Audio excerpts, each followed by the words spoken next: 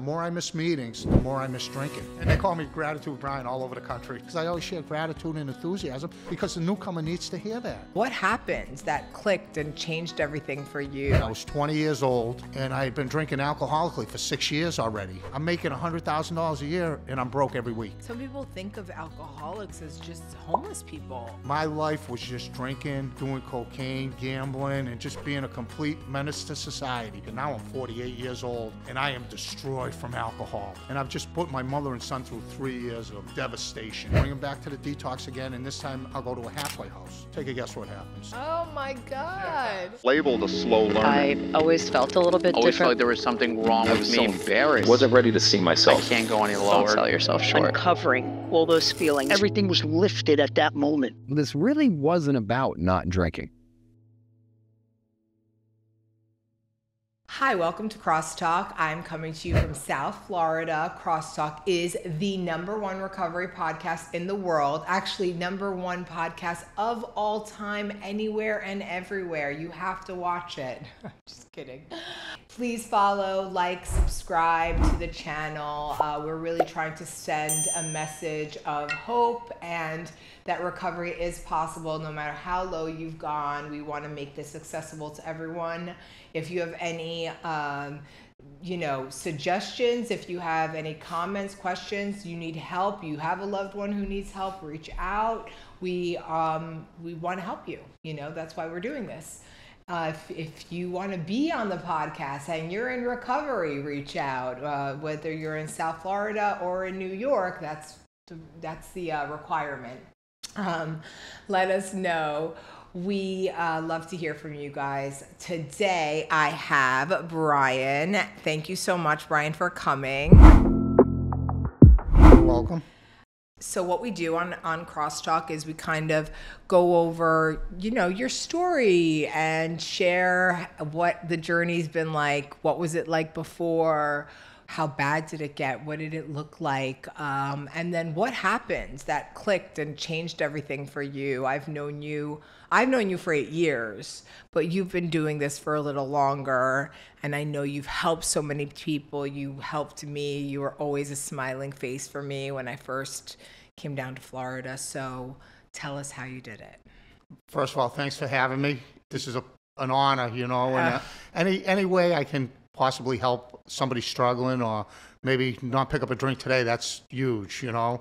Yeah. And um, my sobriety date's March 29, 2011, so I have a little over 13 years sobriety. Amazing. And, You know? and you're not from Boston, are you? Well, Worcester, but the Yeah. accent is pretty distinctive, you Yeah. know. And um, and I love the format because um, that's really what I like to do is tell my story, and uh, and mainly about the recovery and how I was hopeless and now I'm not, you know. So um, like I said, I'm from Massachusetts. The first time I drank, I was 14 years old. We went on a nice little family outing, Hampton Beach. We had a cottage on the ocean, and that was the first time I drank. And I went out and I drank way too much. Went back to the cottage. There was a couple families, you know, it was a big cottage, and um, I laid on the bed, and the bed started spinning, and I got up and I threw up on my cousin on the floor, and I went and I went out to the back porch, and I threw up till I was dry heaving. That night I blacked out, and I woke up with a vicious hangover, and I did that for 34 years straight. You know what I mean? So, did you have that feeling that a lot of people talk about that, you know, um, that that um, feeling of like this is it, this is what you want to do? Like, why why did you choose to drink or use again? You know, after you threw up on your cousin on the porch, you blacked out. You know, what made you say, okay, this sounds fun, I'm going to do it again? And, and, and, you know, that next morning I felt so bad. And I remember I was sitting on the boardwalk, on the steps of the casino boardwalk in Hampton Beach, and um, all of a sudden a seagull right on my pants, right? And I'm there like, so I'm hanging, I'm hung over. I feel worse than I've ever felt in my life. And I got this big stain on my pants. I'm there like, can it get any worse? So, you know, I felt awful that next day.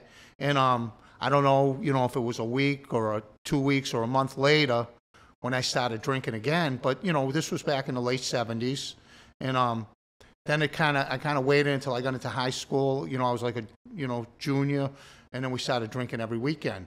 And it was just like every time it was drinking to black out, you know, drinking to throw up, drinking for these fights and whatever it was, you know, because um, it was just a wild time, you know, and it, it was fun, you know. Every we all had a great time, Right, right. And um, so f- what ended up happening was all of a sudden I was 20 years old, and I had been drinking alcoholically for six years already, you know, like already with like double digit blackouts, double, you know, just horrible. You know, I remember I was staying in, uh, I had these two older aunts and an uncle, none of them ever got married, and they were living near where I used to hang around. And I got so drunk, I was like 16 years old, and I fell down and I cut my hand open, right? And it was gushing blood. And they brought me back to my two aunts and uncle in a shopping cart and rang the bell and left.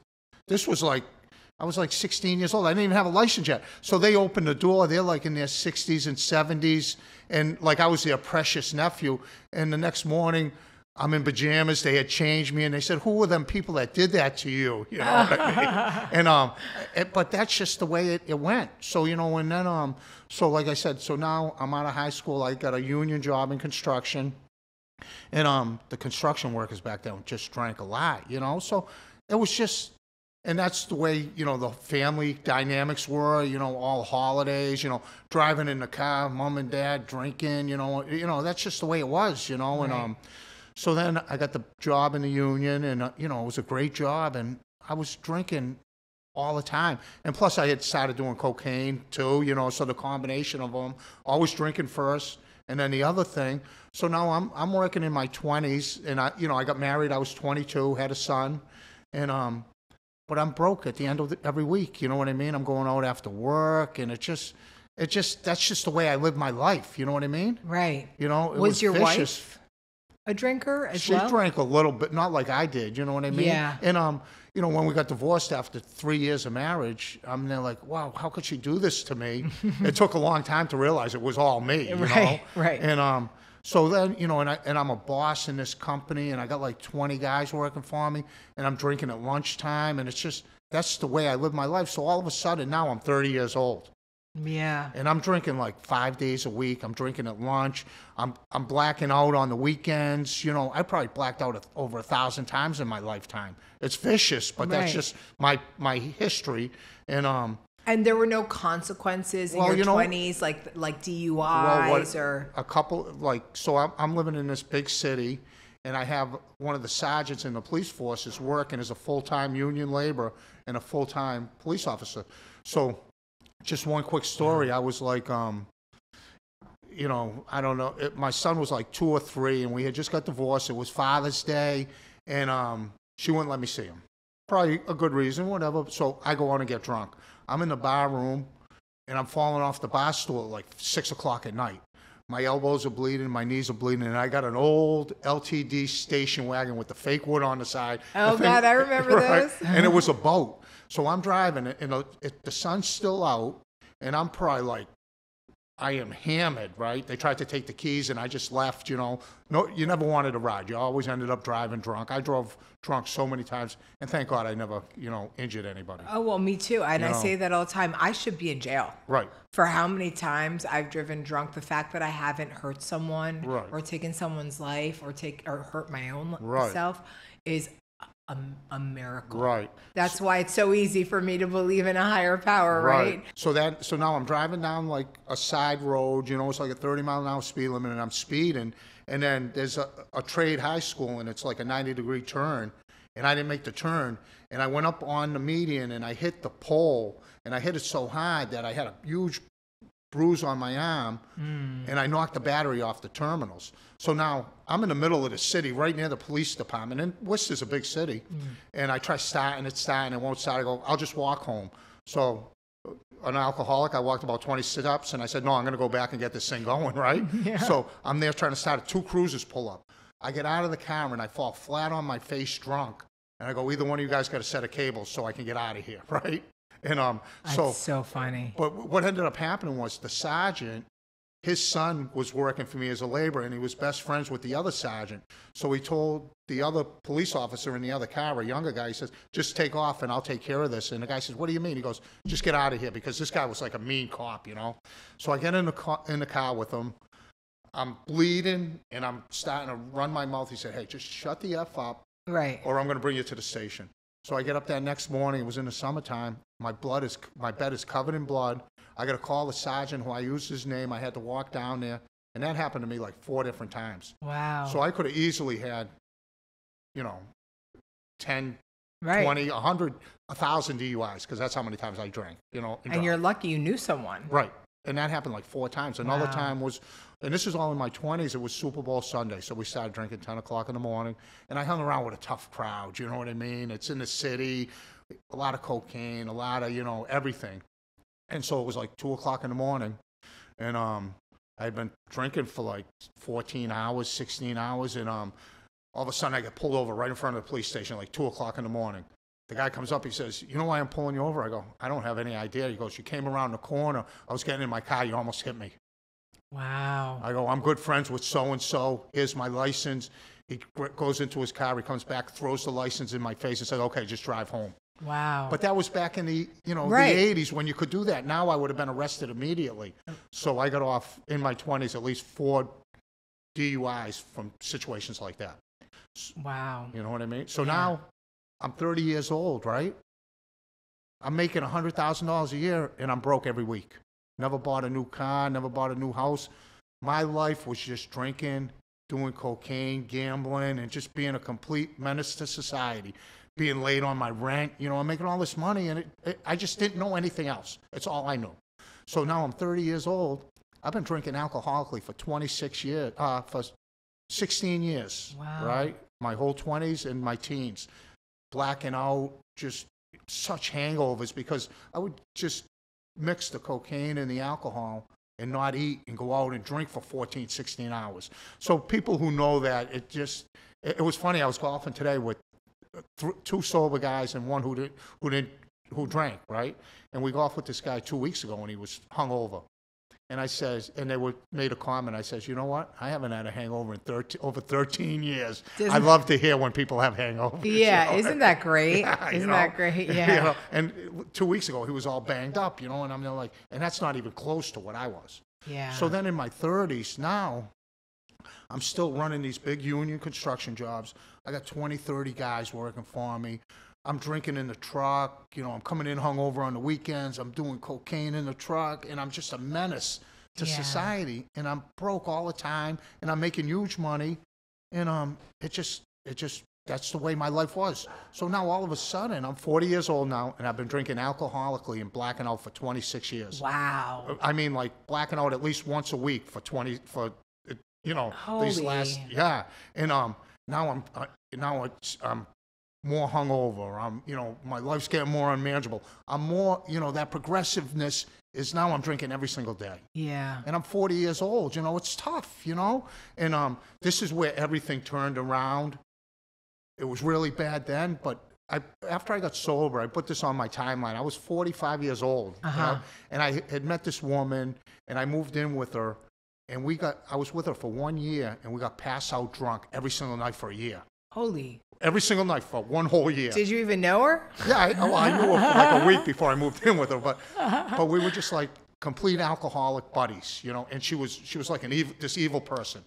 I wouldn't I wouldn't be with her for a day now, Right. but it was like my you know just that's the way it was, and so um Would you say that you maybe weren't so sweet either? no, or? I absolutely wasn't. Yeah, so it was But- toxic. But, but but but I wasn't mean. I was just a drunk. Now Right. I'm now I'm. So what ended up happening was, so I've been with this construction company as a boss for ten years. I've been working construction now for th- uh, thirty years, Uh-huh. right?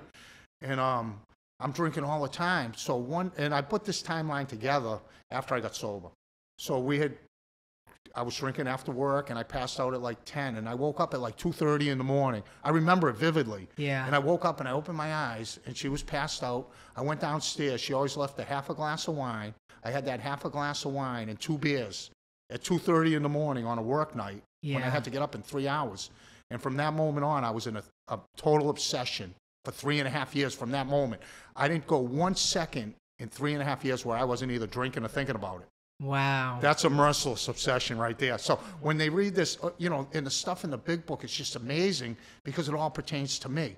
You know, when they talk about that merciless obsession, I went three and a half years. And so now I've been with this company, and now I'm starting to use prescription pills also. Okay. Okay. So is this pain medication, stimulants, like what kind of? Perk, perks Okay. and oxys. So and- opiates. right. Whatever Okay. it can get a hold Because. I was into, I wasn't into opiates. Opiates actually, and I, I thank God, Right. I did not like opiates. Right. Otherwise, this podcast, at least I wouldn't be on this Right. podcast. Right. But um, you know, for me, opiates made me itch and gave me an allergic reaction. I was really lucky. Yeah, I was literally really lucky. So that allergy is real. Right. It, it is real. It so, is. so so now I'm doing cocaine on the weekends at least, and then I'm drinking every single day. And now I have a company truck, and I'm in that obsession. And now I'm near the end of this job because I'm getting ready to get fired. How old are you? Sorry. I'm 45. 45. Okay. Right. So just ending with this woman, still with this I'm woman? still with her, but Okay. not for much longer. Okay. So now I'm in this merciless obsession. So this is how bad it is. So I would have a, a nice coffee on the way to work, and I had the company truck. And the only thing I'm thinking about is that next drink. I mean, I am just obsessed, so big, like as bad as you possibly can be. Yeah. So coffee time would come at nine o'clock, and these my crew would all have their coffee. I'd fly to the convenience store, and I'd get two big bottles of Mike's Hard Lemonade or Smirnoff Ice, and I would guzzle them down. It would take me the whole 20 minutes, bloated. You know what I mean? Oh. It was horrible. And so then I'm now I'm back to You work. really make me never want to drink again. and it, it gets it gets a lot worse. Oh, this yeah. is just this is I still got a few more years. You know? Well, well, go slow. We don't want to rush through. We Oh, want to hear it all. You'll hear it all, and then you'll hear about all that recovery. That's I- amazing. thing, Yes, and I want to hear all about that so, recovery too. So now, now I've drank drinking this. It's 9:30. Now all I'm thinking about is going out at lunchtime and getting a pint of vodka. Oh. Okay. So now, 11:45 comes. I sneak out. I go to the, the liquor store. We call it the package store in Massachusetts. Mm. I get a pint of vodka and a, a Gatorade, and I guzzle that down. Mm. I come back. I'm drunk. And I'm doing this, and I'm I'm ru- I'm on this condo job with two, three hundred guys, and I got thirty or forty guys directly working for me. Are you running any cranes? No, I'm just like the labor foreman in charge of all the operators. Okay. So the foreman. Uh, the foreman in charge of all these guys, tell them what to do, how to do. And I'm coming back trashed every day. Oh, they must know, love you. And they all knew it, you know. Oh yeah. But they were all my friends because I had been working with them for 10 years. Yeah. And that's going to be important in a couple seconds. So now, what ends up happening, like maybe a, a month later, the, a new supervisor comes and he says, Hey, you got to stop drinking. You know what I mean? We, we can't have this. And so I go out. So I'm still with the same woman. And that night, before this happened, we went out and we got we ended up doing some cocaine and we stayed up all night on a work night, which I've done a hundred times before. Yep. Not proud of, but just the fact, you know, because once you started, you can't stop. Oh, trust me, I know. I know. stayed out for days. Forget Right, right. overnight. And, and so now I so I get up and instead of getting that iced coffee, I made this big drink, big vodka drink at the house. Drank it on the way in, right? Oh.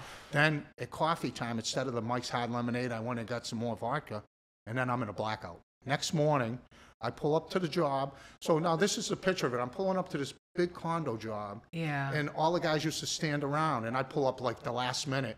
And as I pull up, the two big bosses from Boston are there, right? Yeah, right. That's the look I had, Oh. right? I'm there, and now I'm wearing the same clothes as yesterday. I'm I'm just a mess. Out of my pores is oozing that smell of a gutter drunk. Mm-hmm. And um, they go, "Hey, what happened yesterday, Bryan?" I go, "I have no idea what you're talking about." At noontime, in charge of 40 guys, what happened yesterday at noontime? Well, there was a landscaper and he asked me to plant a tree, use a backhoe to plant a tree. And I didn't like this guy because I was drunk. And I didn't Right. like him anyway because I was so drunk at the time. and I got out of my car and I grabbed a shovel and I threw it at him. I oh, told him I was going to F and kill him. And then I drove off the job. And I don't remember none of this. This is my coworkers I've been working with for 10 years telling me this. So, but this is where, how bad the obsession was, right? So now I got the company truck. I'm getting a big Christmas bonus, two weeks vacation. They tell me if you drink again on the job, we're going to let you go. Now you got to remember, for the last six months, I've been drinking at coffee time and lunch, coming in hungover, and drinking till I pass out because I'm in that merciless obsession. Yeah. Only like six months into it, and I still got another three years. Right. Yeah. Yeah. And um, so that that day I didn't drink at coffee time or lunch, and man, did I need a drink after work? You know what I mean? So I got drunk. The next day I go, I didn't drink at coffee time, but I drank at lunch. You know, because I'm in that merciless obsession. Nothing else matters but that next drink. Mm-hmm. My whole existence doesn't matter. All that matters is that next drink. Then the next day, I'm drinking at coffee time and lunch, and then a week later they come, give me two va- two two paychecks. I got to leave the company truck there. As humiliating as that was, and go around to these 20 guys I've been working with for 10 years. Hey, they let me go. You know what I mean? And um, and they all knew it was because I was a drunk. You know what I mean? It, it's So sad. you, you missed out on the vacation, Yep. on the bonus, and all of that. The pickup truck that I drove everywhere. Oh God. Yeah. Okay. I had had that truck for nine years. So are you back to the station wagon with the wood paneling? no, that, that, that got crashed. I know, before. just joking. But that, that's funny. I like that. And I think about that every, and every time I went back to Massachusetts, every time I drove by that spot, I would think about it. So no, no, I got a car, but it's nothing fancy. And I'm living with this crazy woman, Mm-hmm. and I got to tell her I. I got laid off from a lack of work, and this is like the busiest company in New England, you know. Yeah. So I go down to the Union Hall, and I hadn't been to the Union Hall in ten years. And I walk in, they go, what? and they, of course, they had heard. I go, oh, they let me go because of a lack of work. And so on the ride there that morning, I was, I needed a drink so bad, but I said I can't drink going in there. So I go in there, I'm talking to the business agent, and he says, okay, just sign the slip, we'll f- sign the list, and we'll get you something because I was like really qualified as a site development supervisor, Right. Because that was a hard thing for laborers, and I had been doing it for so long, and I was really good at it, but alcohol was more important. So then that at that moment I remember it. So now I'm driving it. So I'm getting ready to leave. I sign my name, right? Mm-hmm. And as I'm walking out, I look down, and all it was was a scribble. I could not even write my name. Wow. I needed to drink so bad. It was just like chicken, like this, chicken scratch. chicken scratch, you know. So I get in the car. I go, Phew, I'm glad they couldn't see my name because I, I don't want to work. I just want to collect unemployment and drink, right? Yeah. Because I had been drinking, uh, working steady for 10 years, and I just went and got a pint of vodka. Because I drank them last three years was half pints, pints, nips, quarts. The smaller the bottle, the bigger the problem. That's what they say, and that was me. So now that relationship's almost over. Maybe another month goes by, and I'll tell you one story that happened with her. So now I lost the job, and I got this car, and um, I go out and I got a quart of hundred proof Smirnoff, and I guzzle it down in like a half hour, forty five minutes, and I'm trashed. And I make a turn, and in Massachusetts you got granite curb, and I blew the two tires out on the, You the have oh Grant a Granite, curb? granite. Oh, oh granite. Right? Yeah, Okay. I talk funny. Well, no. I'm sorry. Normally I understand, but yeah, I didn't get that So one. granite curb, and I made the corner, and I blew my two tires out. And her house was like, because I was living in her house, was like two miles away, it, and it just it was like eight or nine o'clock at night, and I just drove like 30 miles an hour with two tires. Oh. Yeah, yeah. Because I, I would have got arrested. This town was really tough. Yeah. I didn't have the sergeant at my back anymore. That them days were gone. Yeah. And so I remember I got back to her house and she was out and I passed out on the floor. I peed my pants and then all of a sudden she's standing over me yelling like this monster. Ah! Pulling up to the job with the owners or having her standing over you. I could handle the other. So, and, and I'm just, I'm hurting so much. I can't even talk, right? Yeah. It took me two days where I could even, before I could even go get them tires changed. So that relationship ended. right. So then, um, I'm hopeless. You know, I'm hopeless. I'm drinking now that I've been out of work for a couple months. I'm just drinking around the clock, and I still got like three more years to do that. You know, I'm already possessing. On my arm is all bruised from the poison trying to get out of my body from that cheap vodka, and I'm uh, now I'm just barely eating. Okay, Like you know when you see people with that red, red nose. that was me. and- And, and so a little further in the story, I'll tell you how bad it really got and why I have so much gratitude today and why I'm so vigilant with my program and why I help people. Why I think I'm a good fit for this podcast, to be Mm-hmm. yeah, honest with you, yeah, you. know? you're a great fit, know? and and I call you Gratitude Bryan. You're saved in my phone as Yeah. Gratitude Bryan. So many people have that. you know. because you know you are filled with so much gratitude, and and, and now you understand why. You I know? mean, yeah. and so and it's not even as at its worse. Right. So Wow. now it's time to come down to Florida. My mother's down here. My son's living down here. My son was in his 20s, early 20s. He had been down here for a few years, and my mother had been down here for over a decade. Yeah. Right. And they hadn't seen me in a couple of years, but they had been hearing these phone calls of how this woman was in my life, and they knew that I was in trouble, you know? So I leave Massachusetts. I crack a beer in the driveway, and I drank the whole way. That's a long drive from Massachusetts to Florida, drunk the whole way. Wow. Yeah, honest to God. So I get, I finally get down there, right? It takes me a couple days. You are a lucky man. So I get to Florida. and everyone who came into contact with you is very lucky Everybody, too. yeah, yeah. So um, I get to, and, and everything I'm saying is 100% the truth. Yeah. And I'm probably, and I'm leaving a lot of stuff out because oh. there's no way I have enough Oh. time to say everything. I leave things out all the Right. time, and I was drinking for half the time. Right. So so now I get to Florida. I meet my mother and son at the restaurant. I haven't seen them in a couple years. And I in that la- before I came down, I had fallen out of bed a couple times, and I had two black and blues on my face from falling on my face out of bed.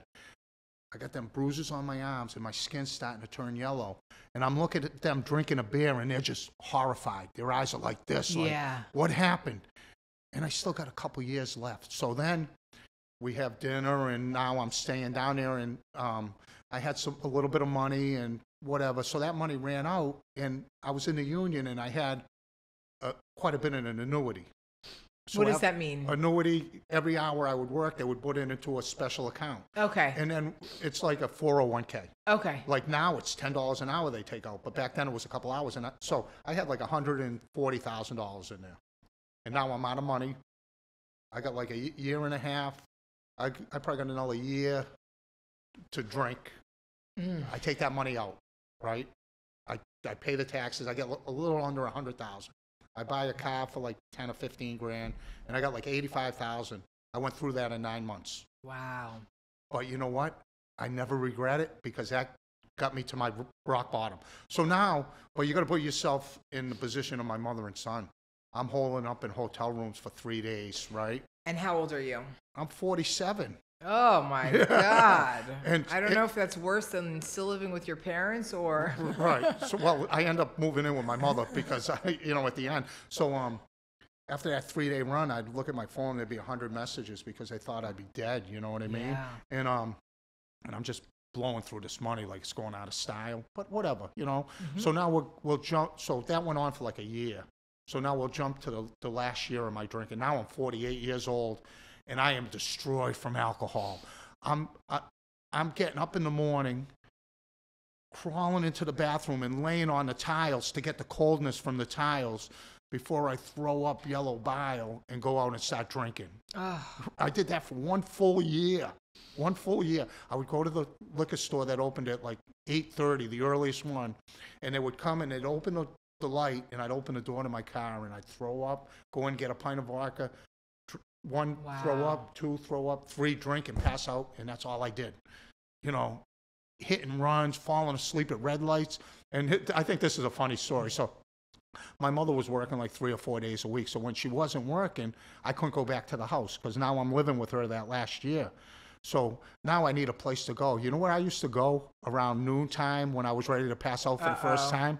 I would go to Macy's and I'd sit in the furniture outside of Macy's with all the older guys and I'd pass out for, for like an hour or two, right? I thought you were going to say an AA meeting. No, no, I wasn't ready for that. So I would pass out and I wake up and i've drool all over me. And these old guys would be looking at me like, man, this, and I, I would, I did that for a while, you know? Wow, yeah. And I had, I had three hit and run accidents on military, hitting people at red lights at like five o'clock at night. I was just such a hopeless alcoholic. So now I got like six months before I stopped drinking, and my my family didn't know about treatment or detox, so they sent me to a detox. And I remember this like it was yesterday, you know, and this is back in 2011. My mother driving me down to Fort Lauderdale. I'm drinking a pint of vodka. This will be the last time I ever drink, and I've just put my mother and son through three years of of devastation. That Yeah. last year, Yeah. they're going to bed every night thinking I'm going to die, you know, because I was a hopeless gutter drunk.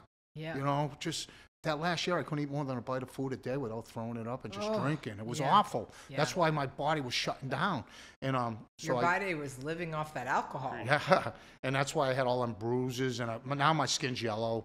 You know, I'm, you know, I'm pre-cirrhosis. You know, I'm just dying. Oh, you know, yeah. and and I'm miserable. I've been miserable for three years now, and um, I can't believe you lasted this It- long. it's so- so I mean, it- my, I, I don't think I've cringed so it's much it's it's, cr- it's crazy. Ah. So then I um, so she brings me down there, and I remember I get out of the car. I'm a 48 year old man, and I'm sitting on the steps in Fort Lauderdale crying because I didn't want to go in like a little baby Ugh. because I didn't wa- I, I, I didn't want to stop drinking, you know. So I go in there. They give me a breathalyzer. It's like 0.3 something. I got to sleep on the couch that night. And you know what? I was there for five days, and I ate a couple meals. I was sleeping. You know, that, before that, I couldn't even take a shower. I'd just stand in the shower and put a little shampoo in my hair, and because I couldn't bend over, I'd fall over. You know. Yeah. And um, so I get out of there. I'm feeling good. Three hours later, I'm drinking vodka again. Oof. I hadn't had enough pain and suffering. I hadn't reached that gift of desperation, and I was just struggling so bad. So now I go on like another two month run. So now, again, the family gets together. The decision is let's br- bring him back to the detox again, and this time I'll go to a halfway house. I do that, go to the halfway house day two. Take a guess what happens. You start drinking. I start drinking oh again. Oh my god. Yeah. So so now we're coming up. Now it's we're talking probably January, February of 2011, and I'm just the, the biggest hopeless gutter drunk in America.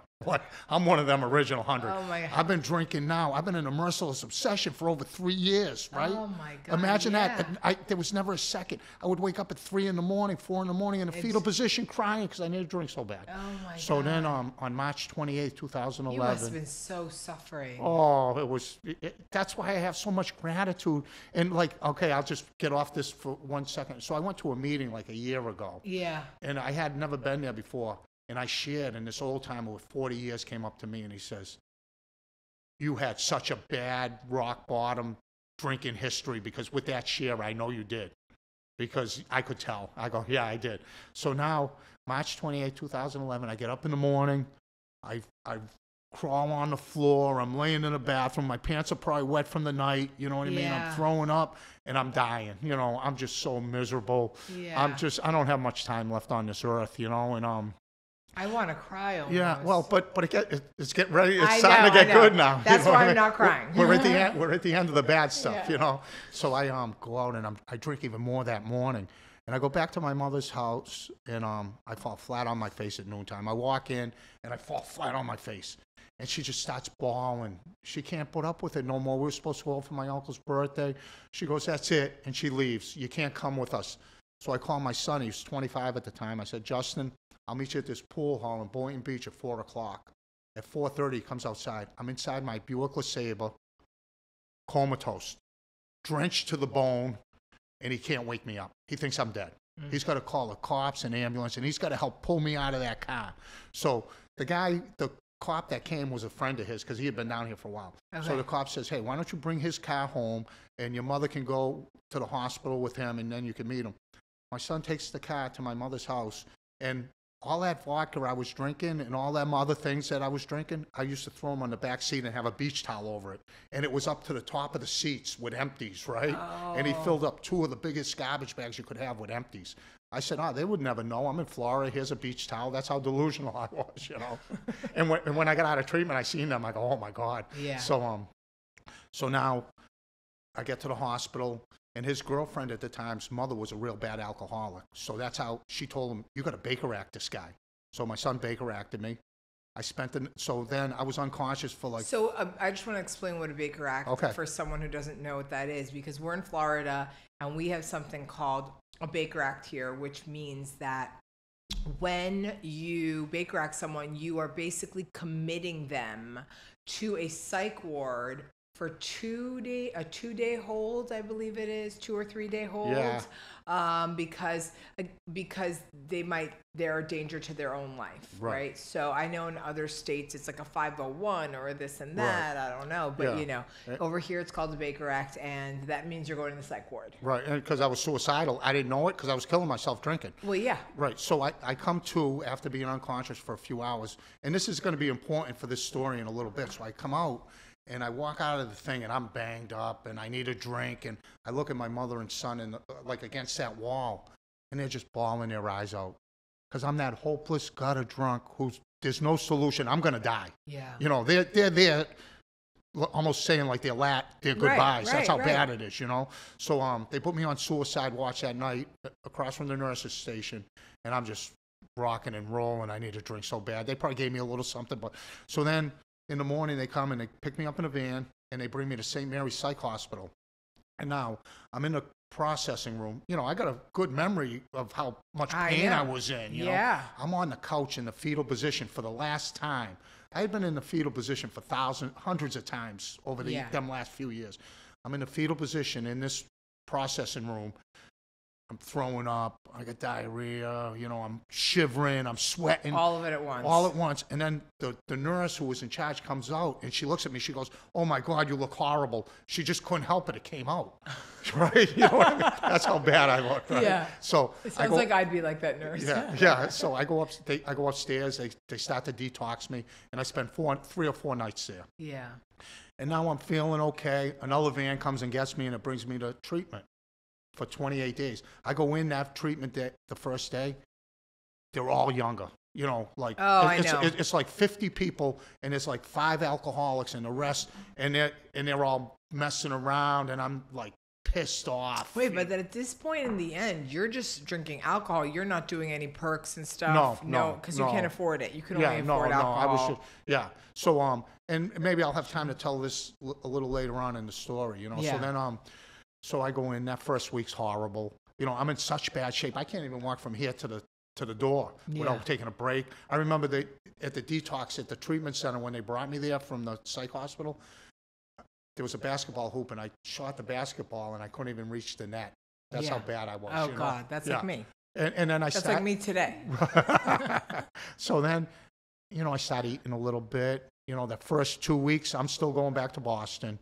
I'm still going to get that union job. I'm going to get an old girlfriend. Oh, And, and but listen, that's so- like me in my apartment. Right. I'm gonna decorate it in my with my AeroBed with the hole in it. so so now I'm on that my final voyage. If I go back, I'm not coming back. Right. I'm going to drink myself to death. And then um like week three, I um decided to stay. You know, I was so angry in that treatment center. I just was so miserable. And, you know, but I'm starting to be a little better. You know, I haven't drank in like four or five weeks now. So I get out of there, and they kept on saying, go to a meeting, go to a meeting. And now this is where the miracle starts. So I think I qualify as an alcoholic. Yeah. You know? I mean, I, I never understood this qualify thing. You know, if you're an alcoholic and you say so, Yeah. well, I believe you. Right. You So- know, I, Right. So um, so now they kept on saying go to a meeting, go to a meeting. So I look it up, and there's the 7 a.m. meeting. I don't know if I can say where it is or whatever here. you can say whatever you so, want. so it's at Crossroads, 7 a.m. in Delray, and it's my home group today, one day at a time. It has been for the it's whole an amazing place. the whole 13 plus years. I've been going there on Yeah. a regular basis. You know. Wow. So, and remember, I said how miserable I was for three and a half years. I wasn't happy one day. So I walked in this meeting, and I'm just getting out. And remember, the two times I was in detox, I went out drinking right away. So if I didn't go to the right meeting and I drank again, I wouldn't be alive today. So I'm walking down this meeting, and it happened to be the last Friday of the, the month. and it Oh, was anniversary. Okay. So That's always a hopeful place to right. be. So I'm walking down the hallway and I hear all this chatter and noise. I'm there like, what's going on in there, you know? And it's like 10 minutes to seven, quarter of. And I walk in, there's already like 80 people in there, right? Yeah, At like big quarter, meeting. quarter of seven. And there's 14 people receiving medallions. So it's an hour of joy and happiness and recovery. So I sit near the back of the room. And then from 10 minutes of seven to seven o'clock, 150 people pile into this room. Brothers, sisters, mothers, fathers, sponsors. Everybody's dressed up. They're hugging. They're happy. Nothing that that was all foreign to me. I Right. know nothing about none of this. Right. And I'm and I'm sitting there. and I'm there like, wow, this is pretty amazing, you know. And on the first woman gets up, she's like 22 years old, and she picks up a one-year medallion. Her mother and father are there, and her sponsor. It was beautiful. Mm-hmm. And then a guy the same age. But what was even more important was what happened after them two. A 50 year old guy picked up a medallion for a year. That gave me hope. And that gave me a solution right there, right? Which I really needed so badly. Well, so many people think that like, oh well, he's fifty. What is he going to do now? You Right. know, like, uh, you know, I have I have a friend and he's in his forties, and I always tell his parents, I'm like, you know, he can still get help. Ah, no, you know, he's in his forties. He'll Right. never. He he. It's over for him. And I'm like, it's not. I know people in their sixties, in their seventies. Who and then they have the best years of their Right. lives, you I've- know. I've, just had the best 13 years of my life right now. I can you know? imagine. I've had the best years of my life, you And- know. And, so um, he picks up the year, and then there's after that there's 11 more people. So there's an hour of joy and happiness. It turned out to be the second best day of my life besides my son being born. That meeting saved my life. Yeah. So I walked out of there and I had like this little feeling like maybe someday I can have what these people have, right? Yeah. You know, I'm remembering this like it was yesterday. It was almost it was over 13 I remember my ago. first meeting Yeah. at Cross. Well, second meeting, I should Right. say. First AA meeting at Crossroads. It was 7 a.m. You know, one day at a time Right. meeting, and I felt the same way. Right. It was amazing. At first, I was like, "Who are these people?" Right. And then my second thought was like, "Okay, I kind of Right. like that." Yeah, and, and? I was fortunate because it was the anniversary meeting. yeah. So I went back the next day and I raised my hand. I said, I'm Bryan. I need help. And like 15 guys came and helped me. Yeah. I got a sponsor. Yeah. I started doing my steps. And that first three months of my sobriety, at 48, almost 49 years old, first three months I was going to like three meetings a day, carrying around the big book. And every day was getting better. Then all of a sudden, I picked up a 30 day chip. And I hadn't gone 30 days since I was 14 years old. 34 years it took me to get 30 And, and you had more days, really, because four to five weeks you were in treatment. right. So- you had uh, yeah, it more was, time. Right, it was like six weeks, but I picked up a 30 day, and then I picked up the 90 day, and that was a real 90 day. Yeah. You know what I mean? Yeah. And I remember, you know, I just remember like it was yesterday. Was I was like on cloud nine. That's awesome. And when you think about it, 90 days without a drink, in most of society, that ain't a big deal. But when you go 34 years without even coming close to it, yeah. and then so what? What ended For up any hap- alcoholic, that's an Right. incredible. That's incredible. Right. So what was amazing was um that so then after like four months, I had to do, I had to humble myself, right? And I got a, I had to get a job. And I couldn't go back to Mass and get that big union job making 40, 50 bucks an hour, get another girlfriend because I wouldn't have made it. You know what I mean? I needed To I needed stay. I needed everything. So I listened to what it said in the big book, what everybody told me, and I got a job at the Palm Beach Kennel Club cleaning dog kennels and landscaping when nobody spoke English for 12 bucks an hour. I humbled myself. I Yeah. was, remember, I was working out picking weeds. You know, you must and- have been like, were you miserable or no, were you I, happy? I was happy because course, every day I was. I was working seven to three thirty and going to a five thirty meeting, Yeah. right? And it was great. And then all these co- and now I'm still in the first six months, and I'm not over analyzing nothing. I'm just keeping it really simple. I'm going to meetings every day. I changed everything, and life is getting better. I'm I'm not even into that. I'm just I know something's helping me, but I don't know what. Okay, Yeah. so um, then I I met the business agent for the laborers union down here at a double speaker meeting at like five months sober, and I got in the laborers union down here because they were doing the nuclear power plants over, and so I wouldn't suggest it for a lot of people, but I ended up at six months. I started to work six days a week, twelve hours a day. right. But this is the so it was up in Stuart. I was living in Jensen Beach, and Uh-huh. I was working at the nuclear power plant. And this was my schedule for five months. Six days a week, I would get up at four o'clock in the morning, do my little prayers and everything, go to work, get out of work, and go to a seven o'clock meeting. So I was getting up at four in the morning, and I went to a seven o'clock meeting every single night. Never missed one. Okay. Wow. So you did a morning meeting and an evening. No, not a, no, Oh. because I was Oh, starting at six couldn't. o'clock in the morning. Right, right, right. I was working six, but Yeah. I was doing my prayers and thanking God. You know, Your prayers. yeah, my prayers. and um, so um, and then people would say to me, "You're falling asleep in the meeting. Look at you're exhausted." I go, "Listen, I haven't missed a meeting and I haven't drank in seven months. I'm going to keep on doing this, right?" And it was funny because I travel for work for quite a while. If I have time, I remember when it. I first met you, you were traveling for Right. work. And um, they had a sign at this. It was Fellowship Hall in downtown Stuart, right at the Circle, a nice downtown. They used to have that Fellowship Hall. It was an older place, and behind the desk it said a big sign: "The more I miss meetings, the more I miss drinking." So I'd be sitting there and I'd be exhausted. I'd look up at that sign. I go, "Damn right." I'm not missing drinking and I'm not missing meetings. I'm going to keep on coming every single day. Yeah. So I didn't miss a meeting for my first three years, working them hours, you know? Yeah. So we'll jump forward to my one year anniversary, right? Now this is amazing. This is an amazing day. Look right? how happy you Yeah, are. I you know. mean, you can't make this up. Right. You can't. Yeah. So now all these people that were at this, you know, because that morning meeting, there's a hundred people there every day back then. Yeah, and, there's, st- I mean, and there there still is. A. It's a full house. full so house. all these people see the miracle because I was so banged up when I came in, Yeah. and they heard from my shares. Now everybody in the room is, you know, excited for me to get up there, you know. Yeah. And um, so my sponsor Jim had all these things he wanted to say, and I remember he broke down because of uh, that emotional. Bond. I know your sponsor. Right. that emotional bond, the miracle of me being alive still. And so now I'm standing up there with the medallion and I look down at it and I look at this full house and like the first four ro- rows opened up, and there was my mother and son Oh, bawling their eyes out with joy, tears of joy and happiness, right? Yeah. And I looked at them. Remember a year earlier when they were in that emergency room thinking I was going to die that night? Now a year later.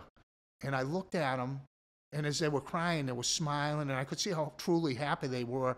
They were as grateful for AA as I was in the Yeah. fellowship, you know? Yeah. And I looked at them, and I looked down at that medallion, and I said, if I didn't find this meeting in AA, they would have been sitting at my funeral before this day. That's what I thought. Yeah. And I go, what a blessed gift. And so then for my mother, she went to my anniversary meeting every year for the first seven years. And then I was working up in Pennsylvania and she got diagnosed with some real bad stuff. I came down, took a week off of work, and then I ended up staying down here. And she only had under six months left. And a gift of the program was she never had to be alone. I was with her every day. We did hospice at the house. And every day she would be there in her, her, her recliner with her little thing and my seven medallions on her little stand Oh, with the lamp. that. You know what I mean? Yeah. And um, every and the, the, the thing is, is people don't understand how important um, recovery in A is for families, right? So this woman went seven years where she didn't have to wake up every morning crying because her son died an alcoholic death. yeah. And when she ended up passing away way too young, she went on her terms, you know, and she didn't lose any sons before it, you know. Right. And then on the other hand, my son, he's going to be 39 in August. And we've been best friends for the last 13 years. He hasn't had to tell everybody that comes in his life his father died an alcoholic death. Yeah. So my son and mother is grateful for AA as I am, you That's know. amazing. And so that was a pretty, you know, a pretty good first year, you know. And your son doesn't have any um any ad- issues with addiction or anything. No, you know, Yeah. he, he's drank in the past, but he, Yeah. you know, he's been in the program and he Oh, he's in the program? Yeah, so he he's doing well. You know what I mean? Okay. But he has his own program. You I wasn't sure if yeah, of course, of Right. course. So you know, and that and that works for both of us. You know, and he's in real estate down here. He's doing great, and um, Good. just you know, just think how hard life would be. You know, it, and it would have been already Yeah. 13 years. I wouldn't have been around because I would have never made a, a year. When when I went into um, treatment and they looked at my numbers from the hospital, they go, "How are you still alive?" You That's know? what they said to me. Yeah. I needed a, bl- a blood transfusion Right. in detox, Yeah. and they were just like, "What have you been living on?" Right. Like, uh, what, you know, my skin was gray. Right. Yeah. So pretty similar. You know. Yeah. Just, and um, that's like in the mine was not as many years as you. I can't believe you went so It- long. yeah, it's it's crazy. I can't in- believe it either. you that's know. incredible. And, and and when they say in um the big book, you know, this book is about the first 100 low bot. You know, I could have easily been one of them original 100. Yeah, You know, I'm yeah. not proud of it. It's just a fact. I Right. could have a story in the back of that book on me. Oh, for you sure. know, you know. For sure. And because of the miracle of my recovery and how good it is, and how many thousands of people I've helped. yeah. Like now, I go into the morning meeting and I shake everybody's hand, and I remember their names. And I go, "Hey, you're looking great." You know, When I go and I don't get to see you, I texted you last time. I'm like, I ran out, but you know, I, I wanted to Right, say bye, right. you I- know, yeah, because, because- I feel like you are uh, a pillar and, and someone who helped me so much. And, and? I appreciate that. And I appreciate you asking me to come today. And I remember, like we were talking about when I first got here, I, w- I think it was still like like around a year sobriety or something. And um, maybe not, maybe. Yeah. But I spoke at a meeting that I had never been Oh, before. yeah, yeah. And I'm, I get in there and I don't know anybody. Then right before the meeting starts, I see you there with this big smile on your face. You were like so happy, right? Yeah, and, and. I remember when I was done sharing, you had this great share. And that's like the gift of the program. I've seen so many people under 13 years. Like, how much time do you have now? so it'll be eight years. And you look so much better now, Oh eight years God, later. thank you. And, and so the miracle of the program, and it just makes makes me so happy to see that. And like when you go get your medallion, it's like I remember her when she was struggling, and, Yeah. and I, I know thousands of people like that. And so I'll I'll just get back to the story real quick. No, so, please. Do you have? We, we're not rushing. I don't want you to feel Oh, rushed no, no, in any way. No, so I, you know, I got, thir- I, I kind of wrapped up the 34 years, pretty good. Now I got 13 years of sobriety to talk about. So the first three years, I was up And in, I love just to say that you're outlining it because I really tell people, tell me what the first few years like, and for you, I guess those middle years and what you do now, because those first years of sobriety are very different from what you're doing now. I'm Right. sure. Right, but but it's I'm still doing the same things my first year, but it is 100 percent different. Right. Of course. Right. So um, so I was up in Stuart and then down in Homestead, all the way down south. There's a nuclear power plant down there. So I went back and forth for two years to the two places. So I had like two home groups down in Homestead, two in Stuart, and two in Delray. So I, I had six home groups. Were you voting in all of them? You're not supposed to. no, I wasn't. Okay. but I, I called them my home groups because I Yeah. went all the time Right. Of course. you know, and I I was, was just and, and I'm still going to meetings all the time, and um, so after, so then all of a sudden the work ended, right? So now I got three years of sobriety under my belt, and there's no more work in the union, and I got like 20 years, tw- a little over 20 years in the union. So now I'm going to transfer back up to Mass, and I'm going to travel for work six months a year, and I'm going to live down here for six months a year, yeah. and can, and now make a lot more money and get benefits and be able to retire when it comes time. Right. And I just retired a year and a half ago with 30 years in the union, Mhm. where I wouldn't even been alive. You know what I mean? And what a blessing, you know. Yeah. So what happened was on January 28th, 2014, the day before my three-year anniversary, I had to. I was driving to Moline, Illinois. And this is an amazing story. I don't care what anybody says. I've told it a million times. I still have the same car I almost died in, that Buick LeSabre, right? Okay. And I had a big dent in the front from a blackout that I never fixed for three years. It was like a badge of courage. I'm not fixing that 'cause I don't ever want it to happen You again. You still have it today? No, I don't have oh, it at that time. Three I was years- like, wow, that no. car is really. No, three. I had, so it, so three years. So now I got to drive to Moline, Illinois, and it's a two-day ride by myself in the car I almost died in. But now the difference is, three years earlier, when I was driving around in that car at the end, out of my pores was oozing that smell of a gutter drunk. Mm. People say it.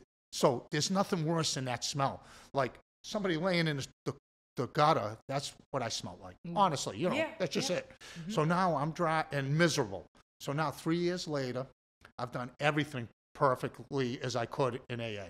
I've gone to a meeting every day. I've sponsored guys. I've spoken at all these treatment centers, detoxes, wherever, and I still do the same thing today. I've spoken over a thousand times, easy, Mm-hmm. Yeah. everywhere. Right. You know, I never say no. And um, so I'm driving in that car for two days. On the last day of my drinking, three years later, and on my anniversary date, and the whole time out of my pores is oozing gratitude. Does that make sense? Yes, You know what I mean? it does. I was just like happy the whole time. Yeah. And because I'm going on a new adventure. I was in my comfort zone for three years. Now I got to go tr- test out AA around the world, Right. around the country. Yeah. And so I get to Moline, Illinois on like a Sunday morning, Sunday afternoon, and it's my anniversary, my three year th- th- thing. So I find it was before the meeting guide app and all that. So I find this meeting. I already had it lined up before I left Florida. And I get there, and it's like in the inner city, and this Moline, Illinois is like a tough thing. So I, it's a really gritty meeting. There's homeless people, there's drug addicts, there's alcoholics. There's like Right. a hundred people at this 5:30 meeting. A bunch of people picking up chips, and I felt just right at home. I felt like this is where I belong, you know. Yeah. And then they say, "Is it anybody's anniversary today?" At the beginning of the meeting, and I raised my hand. I said, "Today's three years." Now this is the first time I haven't been at Crossroads for my meeting, and um, I'm just trying this new thing on the road. And so um, I shared for like 30 seconds or a minute, and then I just really listened to all the speakers. When the meeting was over, they gave me a card. Everybody in there signed it, right? Oh, I love that. And then they and gave I, me- and I bet I can guess what you said for Well- your 30 seconds. Every morning I start my morning with gratitude. I, I have I haven't said it yet. You took it away from me. Oh, okay. Oh no. no, I'm joking. I'm joking. So, so, um, and then they gave me a medallion, Yeah. a three-year medallion. Yeah. No, this is I, usually I start all my shares with. I woke up this morning, and when I opened my eyes, I thank God I didn't want to drink. Yeah. I wasn't in the fetal position crying like I talked about for three years. So every day when I wake up, I'm truly grateful that I don't want to drink, Yeah. and I thank God for that because He's the one who lifted that obsession. Yeah. 100%. And then what am I going to do to help another sick and suffering alcoholic? And how am I going to make my sobriety the most important thing? And then at the end of the day, I put my head on the pillow, usually about 8.30, 9 o'clock nowadays, Yeah. that I'm in my 60s, you know. and that's a, that's a miracle I'm in my 60s, you know. Yeah. And, um, and I, I say, thank you, God. And I put my head on the pillow and I sleep like a baby. Yeah. I'm sleeping in a minute. And you I- must be the most grateful person I know. I'm so grateful Yeah. all the time. Yeah. And they call me Gratitude Bryan all over the country, you know, and I never introduce myself that way because I always share gratitude and enthusiasm because the newcomer needs to hear that. yeah. That there's happiness in this thing, you know? And that was and and you know that was the biggest thing when I I remember when I was sitting on my porch in treatment center and I was like how am I going to be happy? How am I going to live? Like what's life going to look like? Right. You know, you, y yes, I wanted to n- stop drinking and and and stop doing drugs, but I was like what? Uh, Wait, uh, Right. you know, wait a minute, you yeah. know, Yeah. excuse me, how am I going to live? Right. And I think now, now my thought is, how was I living? Right. Which I wasn't. Right. I was surviving. You know, I w- I always talk about how I was like this hollow person. I would like walk and drive through New York as if like I was a ghost. Right. You know, Yeah. because I was. I was like this like gray ghost. Yeah. And- Disgusting. Disgusting. Oh my so god. So bad. So bad. I, I mean, I would check my debit card because I only ate once a week, so I had to figure out when when was the last time I ate. Right. Yeah.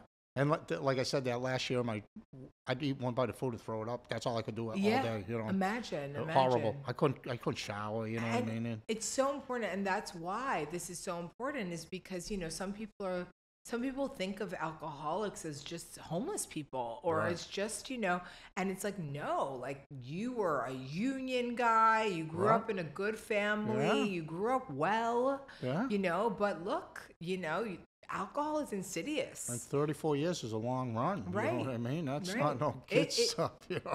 alcohol and drugs do not discriminate. Right. They do not discriminate. They don't care how rich, poor, you know, color, you know, not color, Right. gender, no gender, you know, white, da, da, I've- nothing. I've, seen It's so many different people. And another thing is, is um, you know, and I'll then I'll continue with, on that chronological order. You know, Please. is um, all these treatment centers and detoxes and all these meetings I've gone to, all the people I've seen relapse. Right. Yeah. Some of them die because Yeah. it's dangerous out there now with the Yeah. drugs. Ah. And um, but there's there's a, a recurring event happens. They stop making their sobriety the most important thing. Yeah. You know what I mean? They stop going to meetings. Right. They stop talking to other alcoholics. Right. It happens 99.9% of the time.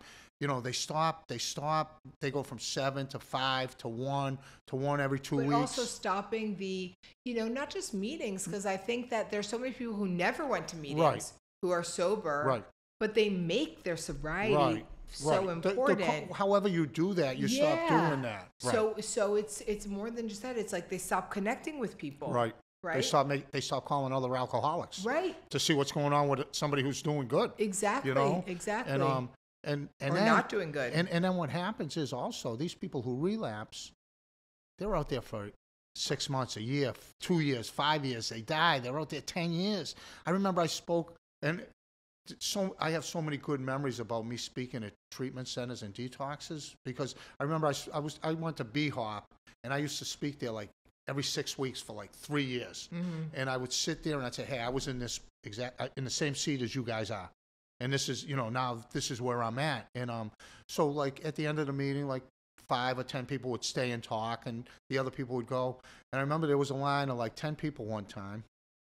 And um at the end of the line there was a woman she was like 70 years old Yeah. right? And um everybody had left the room. I go hey how you doing? She came up and hugged me and started bawling her eyes out. She goes i finally think i got a chance after hearing your story. I drink just like you and i just I never thought I there'd be a solution, and now I heard what you said, and you know, hopefully she made it. But you know, and I got hundreds of things like that. So you know, I mean, helping another someone who who's either alcoholic or drug addict or whatever it is, you know, helping someone who needs uh, recovery is is kind of the best thing ever. Right, You right. know, it feels good. It uh, you know, it does something for you. Right. It And- does something for you. and so what ended up happening on my travels? So for eight years I traveled, Arkansas, Iowa, Wisconsin, Massachusetts, New Hampshire, Vermont, you know, New York, New Jersey, Pennsylvania. And I went to meetings at all these places, right? So I would go into this. I remember I went into this meeting in New Jersey, right? Mm-hmm. And especially me, I'm so loud and enthusiastic and grateful, right? Yeah, yeah. You know, most people aren't like me. You know what I mean?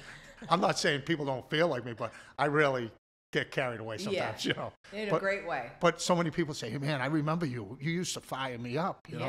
And so I go to this meeting in New Jersey, and it was the first day I was going to be there for like five months. And um, it was a 5.30 meeting, and at the end, I shared.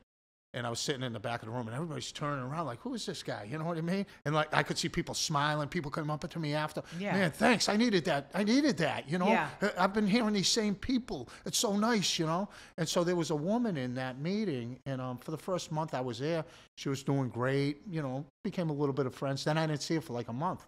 Then after that month, at the end, when everybody used to hold hands, and she, I'm holding her hand and she's shaking. I go, what's, Oh. I, I, what's wrong? She goes, I can't stop drinking. She was a school teacher. She goes, my kids aren't talking to me. My husband's not talking to me. I'm in trouble at school. I go, let's go talk outside. I went out and talked with her for like 10 or 15 minutes. I said, can you go the rest of the day without drinking? And I'll meet you here tomorrow. We did that like every day for a week Yeah. talked with her 10, 15 minutes. I mean, hey, I was where you were. And then all of a sudden, she just started coming to the meetings. We weren't talking after the meeting. And then it was my last day in town. And um, she walks in the room. Her eyes are like this. She got this huge smile on her face, right? Yeah. I go, what's going on? She comes up and she hugs me and almost squeezes the air out of me. She goes, I got three months today. Everything's so good, you know? Yeah. I'm not saying I had anything to do with it, but, But you it didn't have. hurt. You know what I mean? Yeah, And she was just so happy that I took the time to talk to her. But you did have something to do with it, and it's okay to say that. I Yeah, mean, you yeah, did. yeah. You know what I mean? But so it made and me you feel help good. people so much uh, you know not only in your energy but with your stories with with the knowledge you have of Right. hey like can you not drink tonight come back tomorrow like you Right. almost know how to like like um t- explain to them how it works Right, type of right. thing Uh, yeah, know? and, and and I, you know, and I walk in and people respect my program, and the newcomers are like, man, you know, they come up to me and they shake, you know, I shake their hand, and I just become friends with everybody. Yeah. And so another story, which I think is really good, if you don't mind me telling you this one. No, not so, at all. So then, so this one, so now I'm back in Massachusetts, and I'm up in this this meeting right outside of Worcester, where I'm Yeah. from, and I'm I'm going to this meeting for like three or four years. You know, it's a great meeting yeah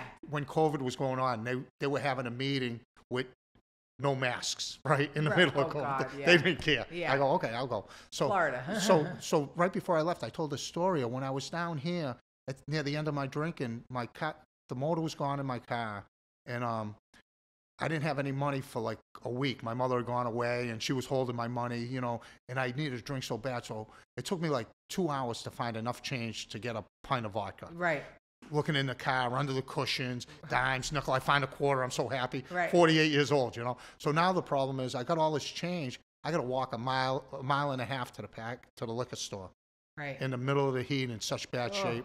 I get there, I drink the thing outside the, the, the store. I pass out halfway home. Then I get back there, and now I got no more change. I got to just suffer through two days of pain. yeah And so, like a year later, I come back to the same meeting, and the guy raises his hand, a younger guy, probably like 30. He goes, I just want to thank the grateful guy, they called me there. Not, Okay. It was the grateful guy. Yeah. I want to thank the grateful guy because a year ago today, today's my anniversary. A year ago today, when the meeting was going to be over, I was going to go out and find crack in the seats of my cushions of my car. And he told this story, and I Right. didn't, and I'm picking up a year today that's awesome you know how your story can help Yeah, somebody you know you know what i mean right there this and guy I ho- yes, you know, exactly. That's ex- you know right. and then i'll tell you one more of helping people so Because I want to ask you something afterwards. okay this will be my last story but i, I could tell you a hundred of them I helping know, I people. know. so I'm, the last time i'm traveling for work i'm in wisconsin Yeah. and it's in the wintertime and it's dreary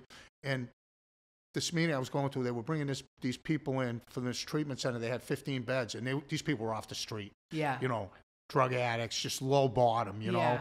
And so I spoke at a Saturday night at a speaker meeting, and this girl came up to me at the end of the meeting. She was like 29 years old. She was missing some teeth. She said, "This is my first AA meeting ever. I haven't seen my three kids in a while, and you know, I just really appreciate your message." So like four days later, I go into that meeting where. They, they used to go, but I hadn't seen her before because the first time was at that Yeah. speaker meeting. I walk in and she's sitting with like three friends, and she sees me walk in the door. She jumps up, she comes running over to me. She goes, "Bryan, I got five days today. I just want to let you know I'm just everything's so good, right? Yeah. you know. You're like, So oh, this, is just the beginning. yeah, this girl was just so hopeless a week ago. Yeah. And so I went into that meeting like five or six different times, and every time she would jump up and tell me her day count. Yeah. So it's the last day I'm in town again. It seems like always something happened the last Yeah. day. And it was a rotten day, you know. And um, she's been in treatment now for a month or something. And I pull up next to the van, and she gets out. She goes, "I wanted to use all day today." And the people told me this is the day you really got to go to a meeting. And then I seen you, and I knew I did the right thing by coming to this meeting. Oh, You know? I love You know that. I mean?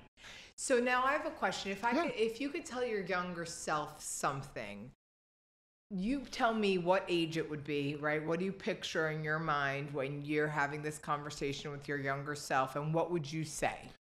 Yeah, you know, um, that that's a that's a challenging question, you know, because, and, and you know, it would have been right off the bat, you know what I mean? Because I started the whole time I was like that, you know what I mean? I, you know, my whole life. So, but what the secret I think is, it doesn't matter, right? It doesn't matter because I came in when I did. Right. So, like all these people I talk to and the people that my sponsors and everything, I tell them, it doesn't matter what happened in the past. You're just looking forward one day at a time. I can't look back and say, "Hey, I should have two houses. I should have a Oh, million right. dollars in the bank." You know, it, I- would have stopped right the first day I drank. Yeah, of course. You know what I mean? So you know, it, it's just you know, I, I would have probably still been married. You know what I mean? I would have had other kids. You know what I Yeah, mean? yeah, I would have had all this stuff, but Yeah. none, none of that matters. So what happens is I do everything one day at a time, including resentments. So anything happens bad today, I leave it in today Yeah. and I start fresh every day. Every morning I wake up, I'm waking up, and people go, I don't wake up like that. I go, well, that's great, but I do. Right. You know, I'm Yeah. grateful every day I wake up and I'm alive and I don't need a drink. I'm not in that obsession anymore. But the other thing is, I'm always one drink away from that obsession. So by me coming over here on the holiday weekend, this is what I need. Yeah. And hopefully, some people that are watching this are going to say, "Wow, this is pretty cool. And this I guy's really, it. this guy's really enthusiastic about his sobriety." You are, and? I'm. I really appreciate you being here. Thank you so much You're for welcome. coming. And I know that this will help people, and um, I'm just so grateful to you. And I want to congratulate you on your beautiful sobriety and giving back doing this podcast. Thank That's you. fantastic, we you know? love it, and, and Corey loves it, and you know, we're doing our best. We yeah, it's fantastic. All right. Well, give me a hug. You made my day.